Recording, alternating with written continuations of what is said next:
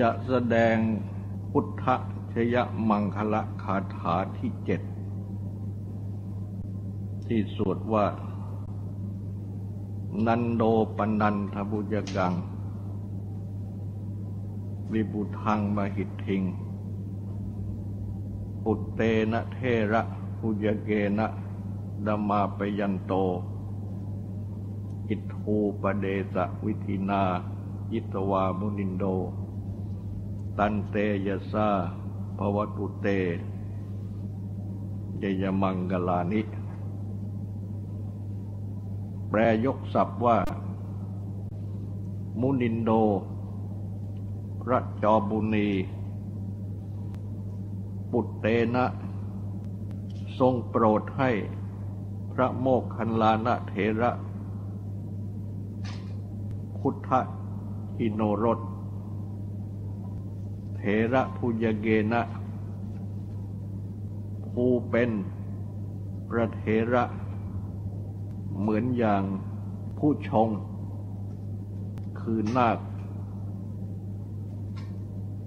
ดำมาไปยันโต ไปทรมาน นันโดปนันดบุญกัง ซึ่งผู้ชง คือนาค ชื่อว่านันโทปนันทะ บิบุทัง ผู้มีความรู้ผิด มหิตทิง มีฤทธิ์มาก อิทูปเดสวิธินา ด้วยวิธี ใช้ฤทธิ์ยยมังกลานิ ขอชัยมงคลทั้งหลายพระวัตุจงมีเตแก่ท่าน ตันเตยซาด้วยเดชแห่งพระพุทธชยมงคลนั้น เรื่องนี้ อ้างถึงพญานาค ชื่อนันโทปนันทะ ซึ่งพระพุทธเจ้า ได้โปรดให้พระโมคคัลลานเถระ ไปทรมาน ด้วยวิธีใช้ฤทธิ์เรื่องนาคนี้ตามที่แสดงไว้ในอัตถกถาเป็นโอปปาติกะจำพวกหนึ่ง คือเป็นจำพวกลอยเกิด ที่มีแสดง ด้วยความเชื่อถือกันมาตั้งแต่เก่าก่อน ความมาเกิดขึ้นแห่งพระพุทธศาสนาว่ามีลักษณะเป็นงูพิเศษ มีงอน หรือจะเรียกว่างูงอนในอันที่จริงคำว่านาคะหรือนาคนี้ พระอาจารย์ผู้แสดงศัพท์ ได้แสดงไว้ว่ามาจากคำว่านาคะ ที่แปลว่าภูเขา มาเป็นนาคะ ก็แปลว่าชาวเขา ใช้เป็นชื่อของช้างก็ได้ ซึ่งอาจแปลว่า สัตว์ที่มีร่างกายใหญ่ดุจจะภูเขา ใช้เป็นคุณศัพท์สำหรับแต่งนาม ให้ทราบถึงลักษณะพิเศษก็ได้ แปลว่าภูมีอาการดุจภูเขา ซึ่งถือเอาใจความว่า เป็นภูประเสริฐภูยวดยิ่ง ในอินเดีย ใช้เป็นชื่อของมนุษย์เผ่าหนึ่ง ในบัดนี้ส่วนมาก อยู่ในแคว้นอัดสมของอินเดียและในบริเวณหมู่ภูเขานาคะ สำหรับ ที่ใช้เป็นชื่อของงูงอน ที่เรียกวันนาคหรือเราเรียกกันว่าพญานาค และพวกนาคนี้ กล่าวกันว่า เป็นบริวารของเท้าวิรูปักขะ ซึ่งเป็นมหาราช ผู้เป็นโลกกบาล ทิศตะวันตก อันเป็นที่เชื่อถือนับถือกันมาตั้งแต่เก่าก่อนพุทธกาลและก็ติดมา เล่าในพุทธศาสนา ที่แสดงถึงว่า นาค ที่มีฤทธิ์มาก ชื่อวันนันโทปนันทะ วันหนึ่งได้เข้าไปอยู่ในข่ายแห่งพระยานของพระพุทธเจ้า ซึ่งทรงตรวจดู สัตวโลกผู้ซึ่งมีอุปนิสัย ที่จะเสด็จไปโปรดได้ ในวันนั้นนันโทปนันทะนาค ก็เข้าไปในคายแห่งพระยาน ซึ่งทรงทราบว่านาคนี้เป็นมิจฉาทิฏฐิ ไม่เลื่อมใสในพระรัตนตรัย และพระโมคคัลลานะสามารถที่จะปลดเปลื้อง เขาออกจากมิจฉาทิฏฐิได้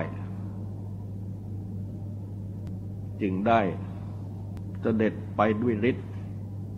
สู่ที่อยู่ของ นันโทปนันทะนาคนั้น พร้อมกับพระสาวกทั้งหลาย และเมื่อพญานาค ได้เห็นพระพุทธเจ้าและหมู่พระสาวก เสด็จไปสู่ผ่านที่อยู่ของตน ก็แสดงฤทธิ์ก็โปรดให้พระ โมคคัลลานเทระแสดงฤทธิ์ปราบ พญานาคก็แพ้ฤทธิ์ของท่านพระโมคคัลลานะ และก็ได้ขอถึงท่านพระโมคคัลลานะเป็นสารณะ ท่านพระโมคคัลลานะก็บอกว่า ขอให้ไปเฝ้าพระพุทธเจ้า ซึ่งเสด็จมาด้วยแล้ว ก็ได้พานาคไปเฝ้าพระพุทธเจ้าพญานาคก็กล่าวถึงพระพุทธเจ้าเป็นสารณะ พระพุทธเจ้าก็ตรัสอวยพร ให้นาคราชมีความสุข เรื่องนี้เป็นเรื่องเล่าในคำพีอัตถกถา แต่ไม่มีพบในคำพีชั้นพระบาลี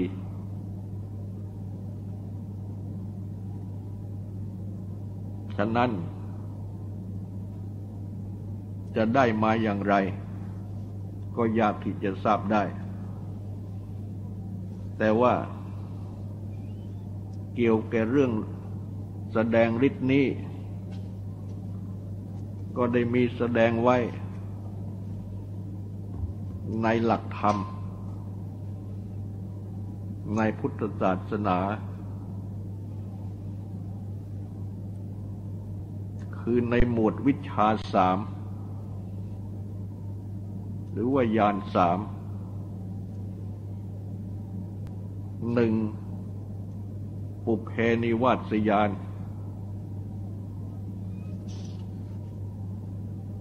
รู้ระลึก ปุเพนิวาสคือ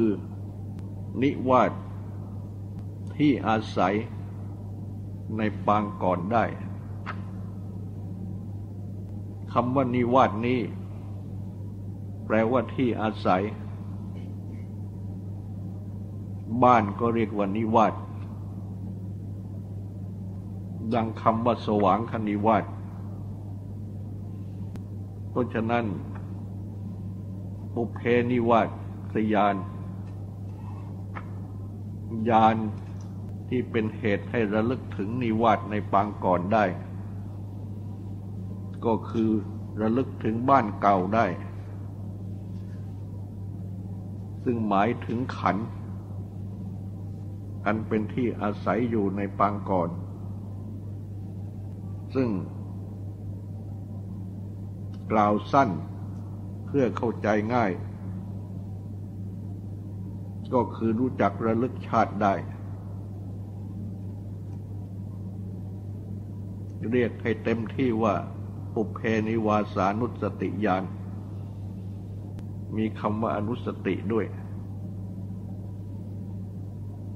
คือรู้ระลึก ชาติผลหลังได้ จุตูปปาตยาน รู้จักกำหนดจุติ คือความเคลื่อน จากชาติหนึ่งชาติหนึ่ง อุปปาตะ คือความเข้าถึง ชาติหนึ่งชาติหนึ่ง ว่าเป็นไปตามกรรมอาสวัคยายาน รู้จักทำอาสวะให้สิ้น ทั้งสามนี้เรียกว่าวิชาสาม หรือยานสาม อีกหมวดหนึ่ง อภิญญาหก อภิญญาแปลว่ารู้ยิ่ง อภิญญาหกก็คือ อิทธิวิธิ แสดงฤทธิ์ได้ ทิพโสตหูทิพเจโตปริยญาณ รู้จักกำหนดใจผู้อื่น ปุเพนิวาสานุสติญาณและลึกชาติได้ ทิพจักขุตาทิพอีกชื่อหนึ่งก็เรียกว่า จุตูปาตยาน ดังกล่าวในข้อวิชาสาม และอาสวัคขยายานรู้จักทำอาสวะให้สิ้นสำหรับท่านผู้ปฏิบัติธรรมในพุทธศาสนา ซึ่งได้ปฏิบัติทางสมาธิมาจนได้อัปปนาสมาธิ บรรลุถึงฌาน คือรูปฌานอรูปฌานหรือรูปปัสมาบัติอรูปปัสมาบัติ และบำเพ็ญวิปัสสนาต่อ ได้บรรลุมรรคผล จนถึงเป็นพระอรหันต์ในที่สุด บางพวกก็ได้วิชาสาม บางพวกก็ได้อภิญญาหก บางพวกก็ได้ทั้งสองอย่าง คือว่าได้อภิญญาหกก็เป็นอันว่าได้ทั้งสองอย่าง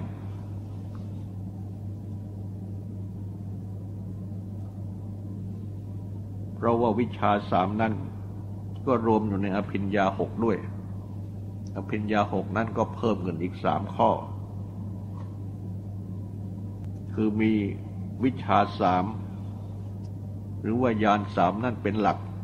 แล้วเพิ่มขึ้นอีกสามข้อก็คืออิทธิวิธิทิพโสตเจโตปริยญาณก็เป็นอภิญญาหก อีกอย่างหนึ่งแสดงไว้วิชาแปด คือหนึ่งวิปัสสนาญาณญาณอันนับเข้าในวิปัสสนา สองมโนมยิทธิฤทธิ์แห่งมโนมัยกาย คือถอดมโนมัยกาย ออกจากกายนี้ได้สามอิทธิวิธิแสดงฤทธิ์ได้สี่ทิพโสตหูทิพห้าเจโตปริยญาณรู้จักกำหนดใจผู้อื่นหกปุเพนิวาสานุสติญาณระลึกชาติได้ เจ็ดทิพจักขุ ตาทิพแปดอาสวัคขยญาณรู้จักทำอาสวะให้สิ้น วิชาแปดนี้ ก็คืออภิญญาหกนั่นแหละ เติมเข้าอีกสองข้อ คือเติมข้อวิปัสสนาญาณ และมโนมยิทธิ มโนมยิทธิ นี่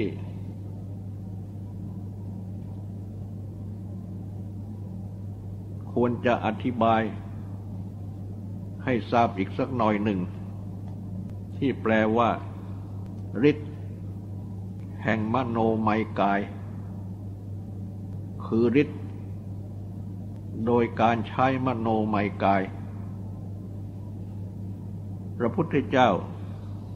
ที่เสด็จไปโปรดพระสาวกก็ดี ที่เสด็จไปในที่ใดที่หนึ่ง ก็ดี ท่านแสดงว่า เสด็จไปด้วยกายเนื้อนี้บ้าง เสด็จไปด้วยมโนไมกายบ้าง เสด็จไปด้วยกายเนื้อนั้น ก็คือเสด็จไปอย่างปกติธรรมดา ด้วยกายนี้ ดังที่เสด็จไปนั่นไปนี่อยู่โดยปกติ ส่วนข้อที่ว่า เสด็จไปด้วยมโนไมกายนั้น คือไปด้วยกาย ซึ่งสำเร็จหรือเกิดจากมโนคือใจคำว่ามโนไมแปลว่าสำเร็จด้วยใจ หรือเกิดจากใจ เกิดด้วยใจ มโนไมกาย ก็คือกายที่สำเร็จด้วยใจ เกิดด้วยใจหรือเกิดจากใจสำเร็จจากใจ มโนไมกายนี้ไม่ใช่เป็นกายเนื้อ แต่เป็นกายที่ไม่ปรากฏสรีระคือรูปร่าง เช่นเดียวกับมโนคือใจหรือจิต ซึ่งไม่มีสรีระคือรูปร่างปรากฏ แต่ท่านแสดงว่าเป็นกายที่ มีอินทรีย์สมบูรณ์ไม่บกพร่อง อันหมายความว่ามีตา มีหู มีจมูก มีลิ้น มีกาย มีมณะคือใจ อันเรียกว่าอินทรีย์หก คือเมื่อมโนไมกายนี้ออกไป ก็เหมือนอย่างมีตาที่เห็นอะไรได้ มีหูที่ได้ยินอะไรได้ มีจมูกที่ได้กลิ่นอะไรได้ มีลิ้นที่รู้รสอะไรได้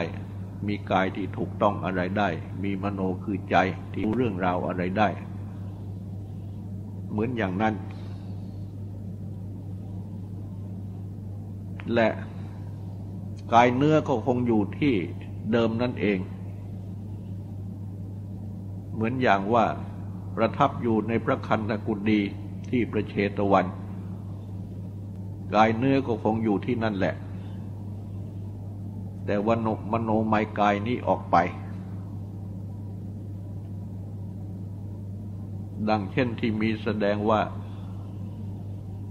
พระเถระบางรูป นั่งทำวิปัสสนา จนใกล้ที่จะบรรลุมรรคผล พระพุทธเจ้าทรงทราบ และก็ทรงทราบว่า ข้าได้เสด็จไปโปรด แสดงธรรมะแนะนำอีกเพียงเล็กน้อยพระสาวกรูปนั้น ก็จะได้ปัญญา บรรลุมรรคผล ได้โดยสะดวกทีเดียว จึงได้เสด็จไปโปรด เหมือนอย่างเสด็จไปประทับอยู่ในที่เฉพาะหน้าของพระสาวกรูปนั้น และพระสาวกรูปนั้นก็เห็นพระพุทธเจ้า เสด็จไป และก็เหมือนอย่างว่าพระองค์ก็ทรงแสดงธรรมสั่งสอน ก็เหมือนอย่างว่าทรงสั่งสอนด้วยพระโอษฐ์นี่แหละแล้วพระสาวกรูปนั้นก็ได้ยินที่ทรงสั่งสอน ก็เหมือนอย่างได้ยินสั่งสอนด้วยหูนี่แหละ แต่อันที่จริงนั่น พระพุทธเจ้าที่เห็นนั่นเป็นมโนมัยกายของพระพุทธเจ้าเสด็จไป และเมื่อตรัสสอนด้วยข้อความสั้น ๆ แล้ว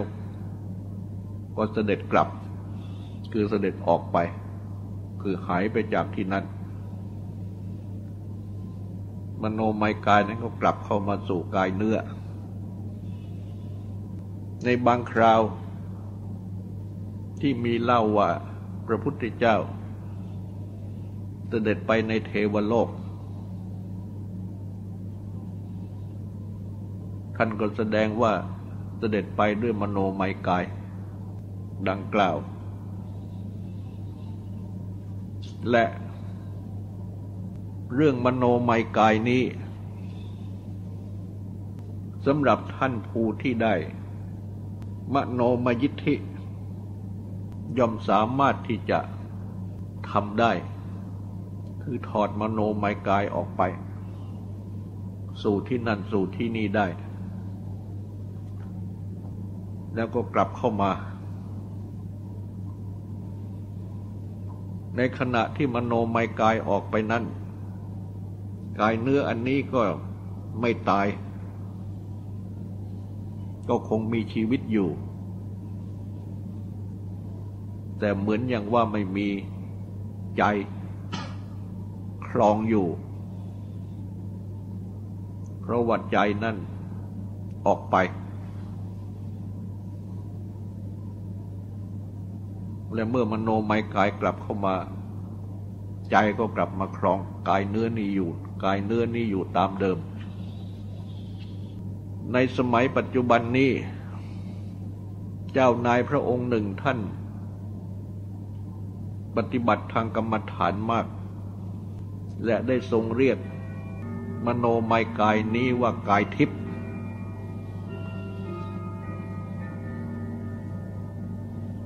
คู่กับกายเนื้อ บุคคลที่ทำสมาธิได้ดี และได้เคยอบรมมันในทางนี้ ในอดีต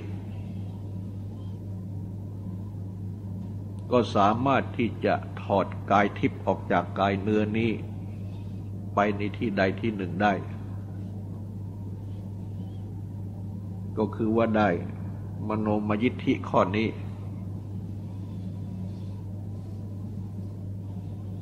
และบางคนแม้ในบัดนี้ ที่เคยมีอุปนิสัย เคยอบรมมา ก็ปรากฏว่าทำได้ก็มีอยู่ เท่าที่ ได้รู้จัก เร็วๆนี่ก็มีอยู่คนหนึ่ง กำลังเป็นนักเรียนในทหารอากาศ ก็บอกว่า กายทิพย์ชอบออกไปในบางครั้งบางคราว เช่นในครั้งหนึ่งเมื่อเร็วๆนี้ ก็เข้าเข้านอน และเมื่อ นอน ก็รู้สึกว่าตัวเองลุกขึ้นนั่ง แต่ว่าก็ตัวเองที่ลุกขึ้นนั่งนั้นก็ได้มองไป ก็เห็นกายเนื้อของตัวเองนอนอยู่ จงรู้สึกว่าตัวเองที่ลุกขึ้นนั่งนั้นก็คือเป็น กายทิพย์ที่ออกไป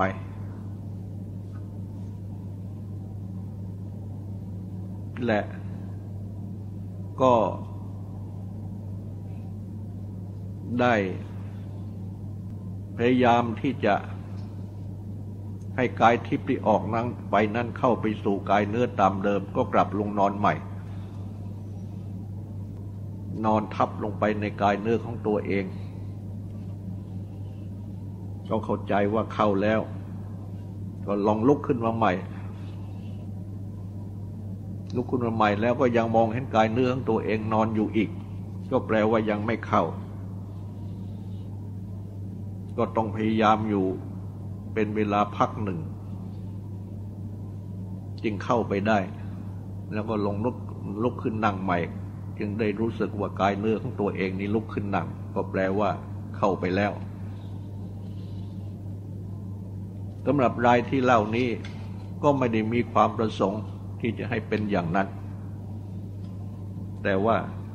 มันก็เป็นอย่างนั้น แล้วก็เป็นมาเป็นบางครั้งบางคราว ก็แสดงว่า ได้เคยมีอุปนิสัยในทางนี้มาแล้ว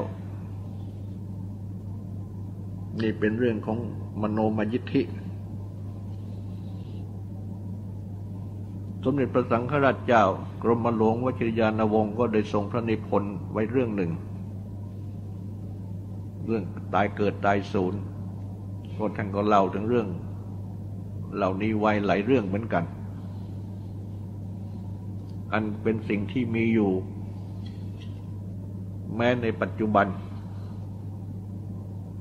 ที่บางคนก็ยังเป็นไปได้ และเรื่องนันโทปนันทะนาคนี้ ก็เป็นเรื่องที่เราติดเข้ามาในอัตถกถา อันท่าน ก็มาแสดงอ้างเป็นข้อที่พระพุทธเจ้าได้ทรงชนะ มาประพันธ์เป็นบทสวดมนต์สำหรับที่จะให้บังเกิดความชนะเป็นชัยมงคล นั้นเป็นคาถาที่เจ็ด